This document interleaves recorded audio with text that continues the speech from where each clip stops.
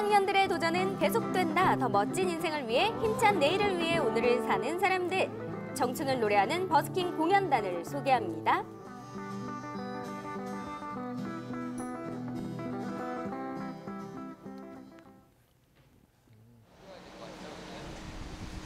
제주 시내의 한 거리에서 버스킹 공연 준비가 한창입니다. 어떤 공연을 하실지 궁금하시죠? 네. 지나가는 분들도 관심을 보이는데요. 모든 이들의 눈길을 사로잡은 여러분 누구신가요? 예, 저희들은 JBC 예, 버스킹 공연단입니다.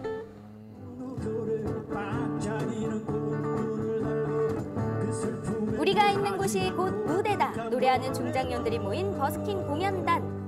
도민과 관광객을 위해서 길거리 공연도 하고요. 재능 기부 공연까지 무대가 있는 곳이라면 어디든지 출동해서 우리의 희노애락을 노래합니다. 어, 다들 시- 그 덕에 지나가는 어머님들 걸음 멈추고 춤 한 방 거하게 추셨어요. 오. 네, 처음으로 접해봐서 너무너무 좋았습니다. 지나다니다가 갑자기 들으니까 가슴이 벅찼어요. 너무 잘했습니다. 따봉입니다. 嗯，我觉得非常好，非常有活力。 嗯，然后让我们来旅游的人更爱上济州岛。 중장년들의 일자리 창출을 위한 이음 JDC 일자리. 이음 일자리 사업 화이팅! 지금 중장년으로 말할 것 같으면 흔히들 베이비 부머라고 하죠. 5060 중장년들에게 퇴직이란 새로운 출발을 의미합니다. 그리고 이들의 새로운 출발을 응원하기 위해 이음 일자리가 만들어졌는데요. 면접과 교육을 거쳐 선정된 2018 이음 일자리 사업단. 프로 의식을 뽐내면서 각자의 위치에서 최선을 다하고 있습니다.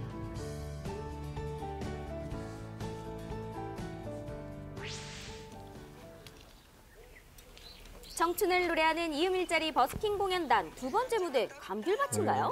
네. 그건 아니고요. 두 번째 무대 악기 대신 전정가위 들고 농부로 컴백 홈 하는 시간입니다.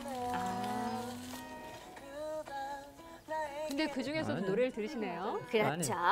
버스킹 부부 공연단인 베일수 씨와 김영주 씨 부부 6년차 제주로 농부예요. 내려와서부터 시작을 했는데 예, 아직은 초보죠.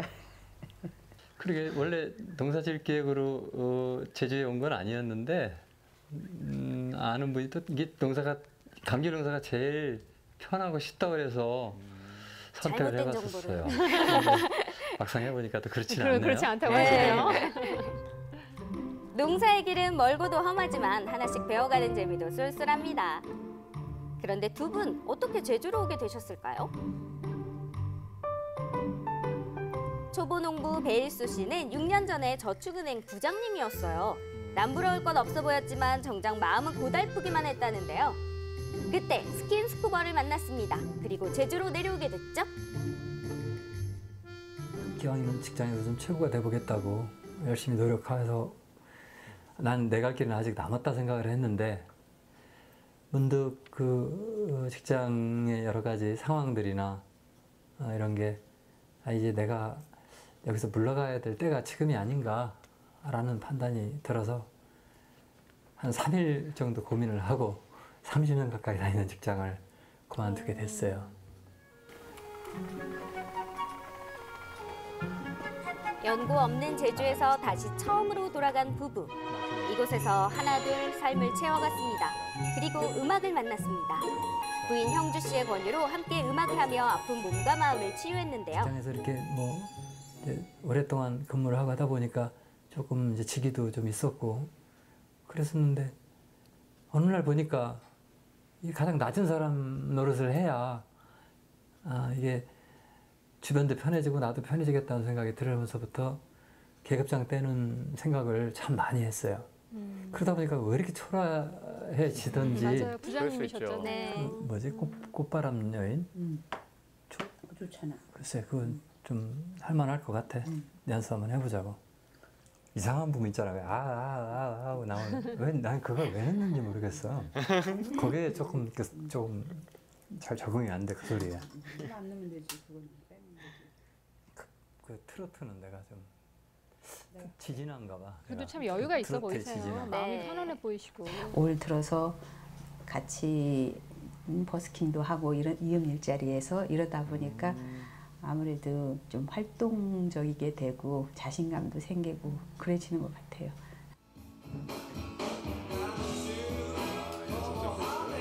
하루 온종일 붙어 있는 두 분인데요. 역시나 연습실에서도 사이가 좋습니다.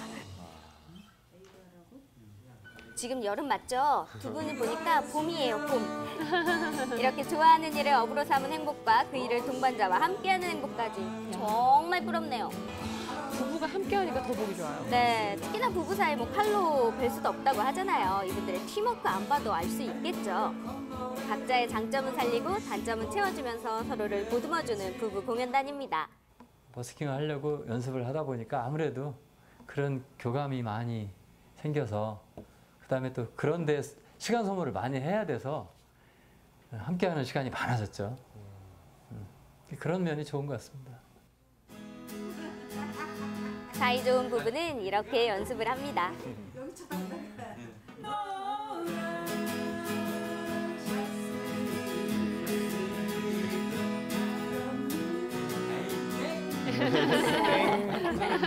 그겁니까?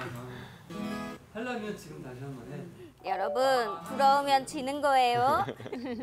그냥 그전같이 혼자 노래하고 이러는 게 아니고 남 앞에 서는 거기 때문에 열심히 해야 되고 또 조금 완벽하게 해야 되는 거기 때문에 좀 심적인 부담이 조금 있는데 저는 잘 못해서 그래도 열심히 하는 게 좋아요.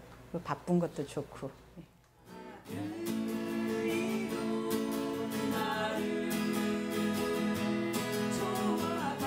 네, 두 분의 행복이 울려 퍼지네요. 진짜 좋아 보여요. 이제 이 행복을 다른 사람들에게 전할 차례.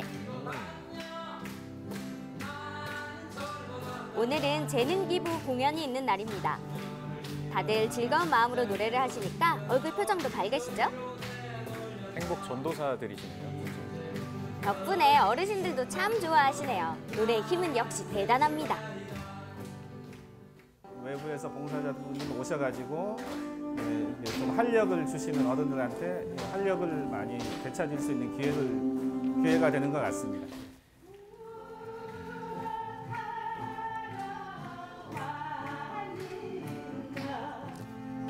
신나는 공연, 즐거운 공연과 함께하고 싶은 분들 버스킹 공연단과 함께 즐겨요.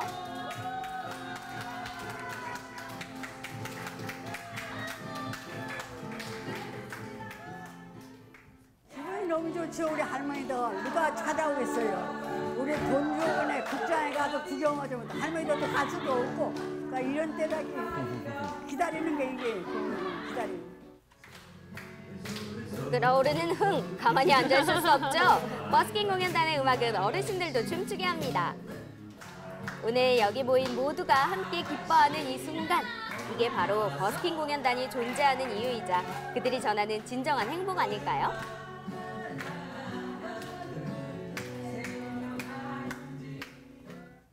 또 어르신들이 저희가 준비했던 것보다는 더 훨씬 더 즐거워하셔서 예, 그것으로 어, 위안을 삼고 있습니다.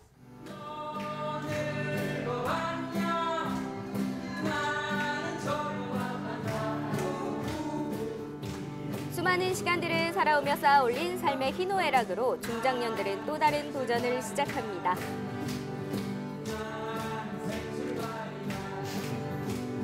중장년들의 힘찬 새 출발을 응원합니다.